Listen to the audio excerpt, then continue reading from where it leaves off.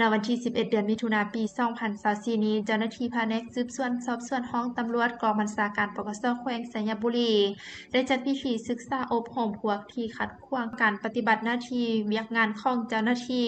ตำรวจจราจร ลงสื่อสังคมออนไลน์จำนวน2คน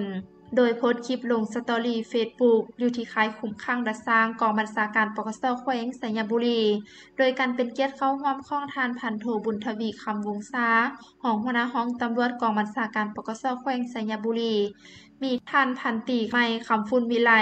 ของหัวหน้าแผนกสืบสวนสอบสวนห้องตำรวจภาคส่วนที่เกี่ยวข้องมีนายบานพร้อมด้วยผู้ปกครอง และพวกที่ขัดขวางการปฏิบัติหน้าที่เวียกงานของเจ้าหน้าที่ลงซื้อสังคมออนไลน์ เขาห่วม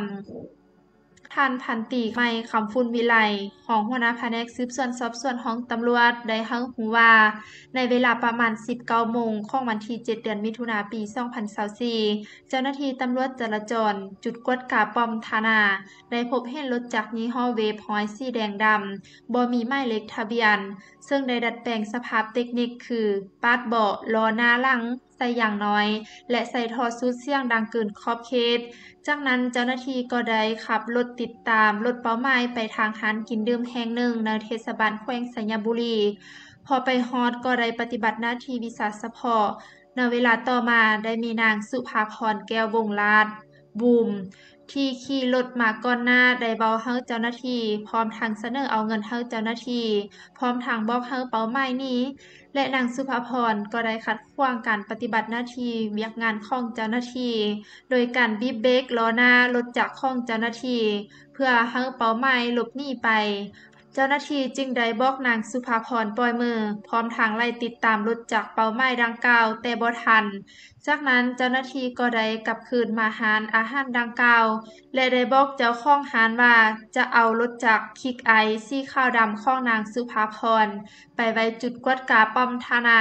เพื่อให้ผู้เกี่ยวให้ข้อมูลเกี่ยวกับเจ้าของรถจักรดัดแปลงสภาพเทคนิคอยู่ที่ปอม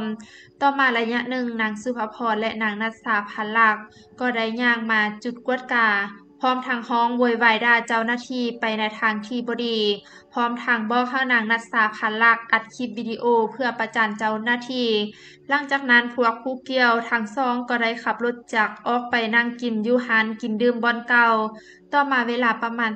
19:30 นาที นางสุภพรแก้ววงลาด ก็ได้เอาคลิปลงสตอรี่เฟซบุ๊กพร้อมทางเขียนคำประจานต่อเจ้าหน้าที่ตำรวจจราจร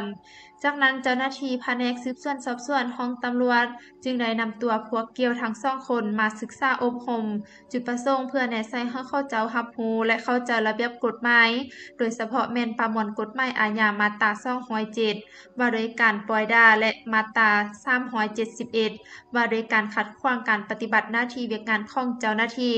เฮามีสติจำแนกได้สิ่งที่ผิดและถึกบ่โพสต์เนื้อหนังที่ขัดต่อแนวทางของภาคระเบียบกฎหมายของรัฐ อธิบายกฎระเบียบจราจรให้เข้าเจ้าได้รับรู้และเข้าใจ พร้อมทางเฮ็ดบทบันทึกศึกษาอบรมและเขียนคำซี้แจง และข้อโทษต่อเจ้าหน้าที่ลงสตอรี่เฟซบุ๊กของนางสุภาพรแก้ววงลาน และมอบให้พ่อแม่ผู้ปกครองนำไปศึกษาอบรมบ่มสอนลูกหลานของตน อยู่ภายในครอบครัวตื่มอีก เพื่อเฮ็ดให้เข้าเจ้ากลายเป็นคนดีในสังคมรู้สำนึกผิด และบ่ให้เอาสิ่งที่ผิดต่อแนวทางของภาครัฐลงสื่อสังคมออนไลน์ตื่มอีก